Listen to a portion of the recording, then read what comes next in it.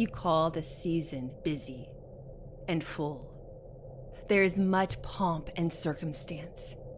There is much glitter and noise. There is so much noise. That is okay. Be wary of the distractions that pull you away from me, but do not be afraid. I can pull you right back. Be careful of weariness, choosing activity that makes you feel you are worshiping me when you are not. Watch how this world tells you what worship looks like. There are not many things you need to do to adequately celebrate my son's birth. Holy Spirit in modern life, this is what we heard for you. You say you like to remember. Imagine the day that I came to earth. The beauty, the miracle, but don't get so caught up in looking back that you don't see what is before you now. This moment, too. For I am here now, and here is where I'll stay. You await me. You look for me. You call out to me and count the ways you need me, marking them on your calendar but be sure to register the passing of days with joy and with gratitude. I have come to you, and I am coming again. I am with you now, yet there is more of me for you to receive. I want you to see the birth, the birth of something new. So wait and don't wait. Receive me now and expect me even more. I bring restoration to your heart, restoration to the world listless and confused. So you don't have to feel distracted and overwhelmed. You don't have to be pulled this way and that, trying to please a world that struggles to understand. I help you understand. Remember that I create unity within your home your heart. It is my heart within you that brings peace. You call this season busy and full. There is much pomp and circumstance.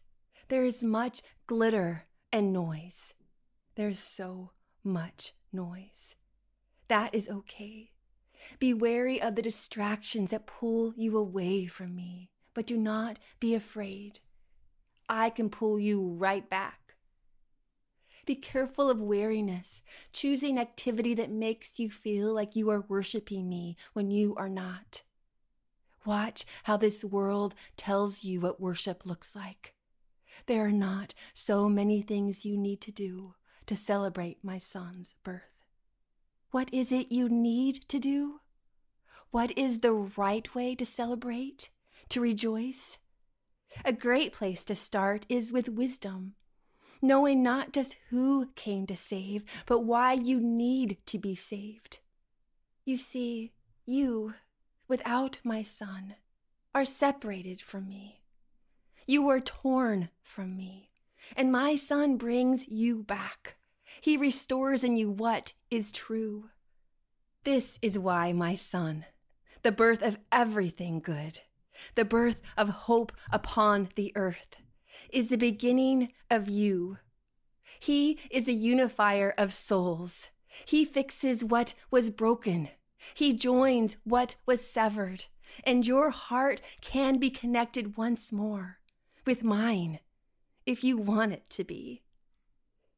Do you want it to be? Ask me how you have been broken. Ask me to show you how you have gone away from me.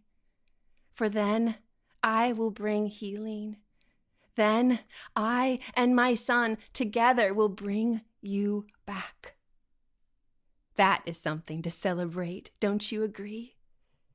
Remember, the birth you celebrate in this season is the birth of you too.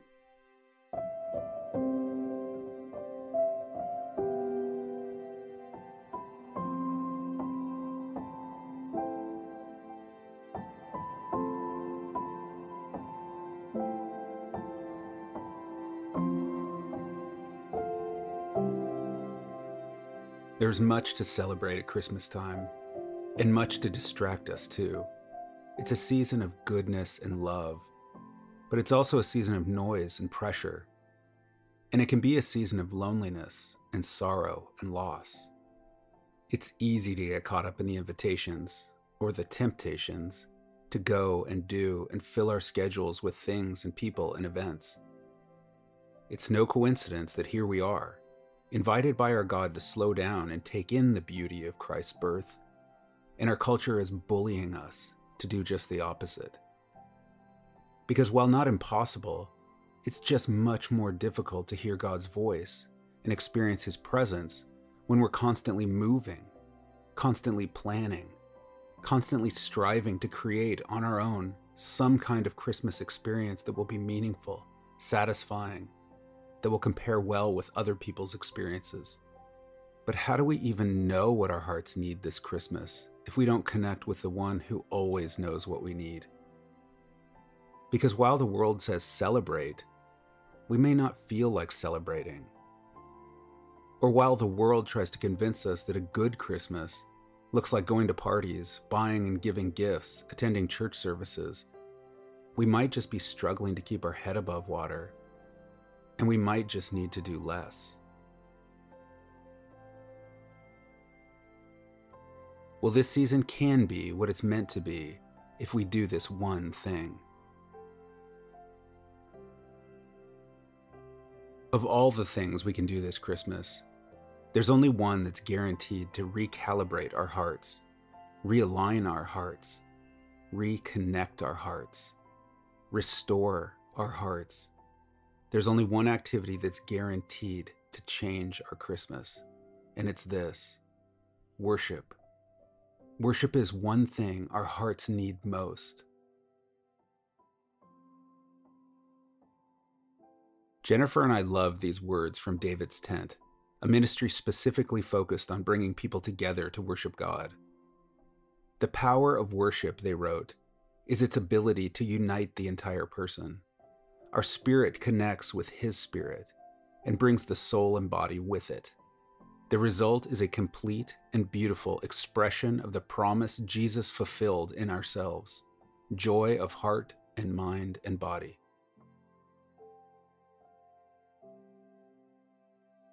What if, this Christmas season, we were able to dial down the level of the noise and distraction, or at least minimize their abilities to affect us, and found a few minutes to worship every or most days up until Christmas?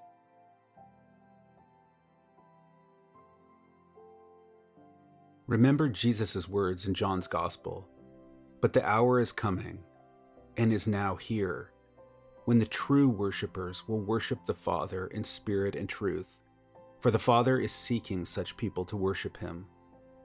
That is from John chapter 4.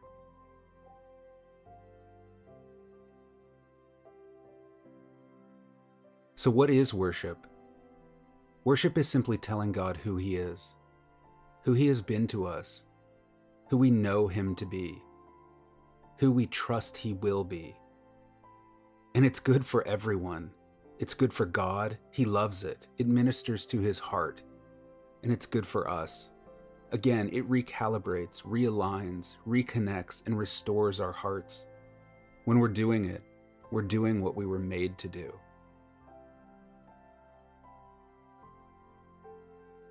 How is Jesus inviting you to worship Him this Christmas season?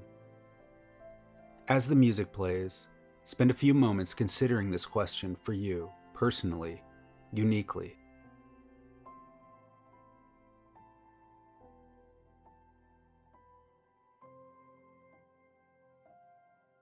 We pray that you are able to find a few moments, maybe a few moments each day during the Christmas season to worship, for personal, honest worship, maybe with music, maybe in silence.